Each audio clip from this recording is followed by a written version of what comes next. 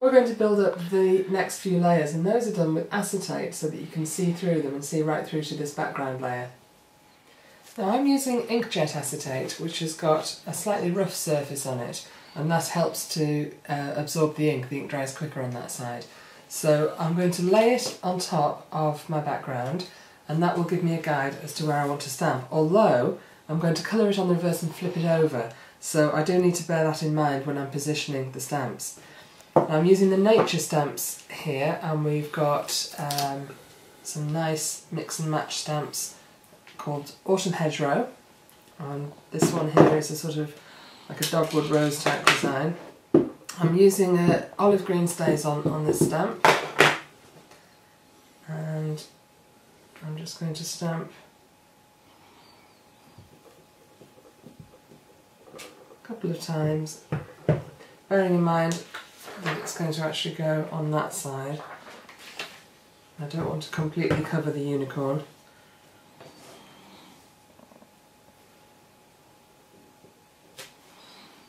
That's that one. We'll have a few grasses.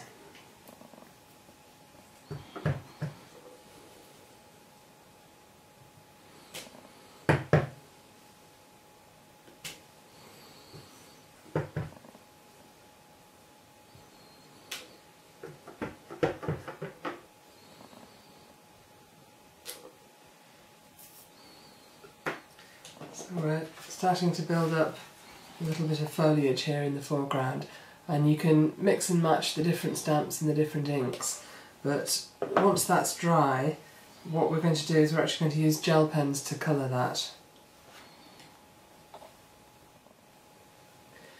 I'm going to use a slightly lighter shade of green to add some of the solid stamps that are in the set.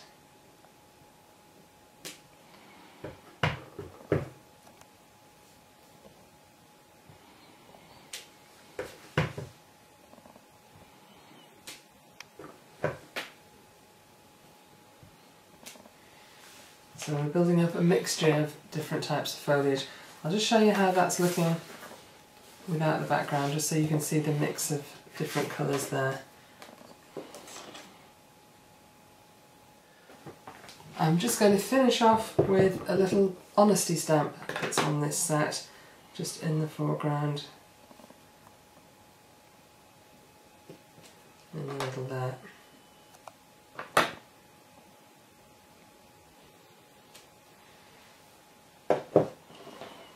And of course that then when it's dry gets flipped over and we're going to colour that in. Now I'm going to colour in the acetate on the same side that I've stamped it and I'm using various different gel pens to do it. I've got the white Inkssentials pen here which I'm using to colour this Honesty stamp.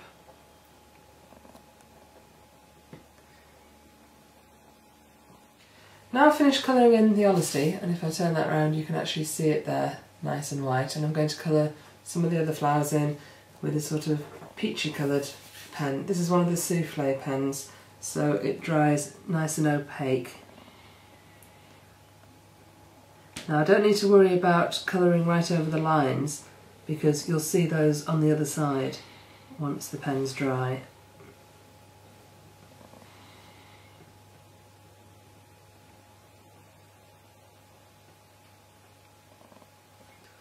So I've coloured in the petals with the peachy colour and I'm just going to put a bit of transparent yellow in the middle and blend that in.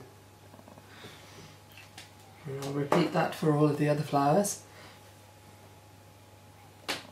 Okay, so now I've finished colouring in all the flowers and if I turn that round you can see how it looks from the other side.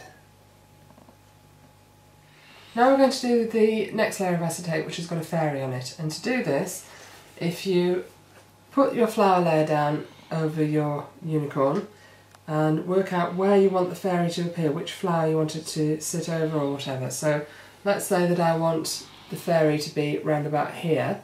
I'm actually going to take the back layer away and I'm going to flip that over and put it down that way. So now this is the side that I want my fairy to be on. I take my next sheet of acetate, line it up with the first one, turn this around so I can see what I'm doing, and you ink up your fairy. I'm using black StazOn this time. And I'm going to stamp the fairy over the flower where I want it to be. Like that. Now the reason I've turned that all over is that when it then goes back the other way on top of the background, we've got the fairy in the right place on the right flower. You can see that there. And that now means that I can put some glitter onto the back of the fairy and when the glitter's dried, here's the one I did earlier. So if I just put all three layers together, you'll see that I've got my fairy in the position that I wanted it.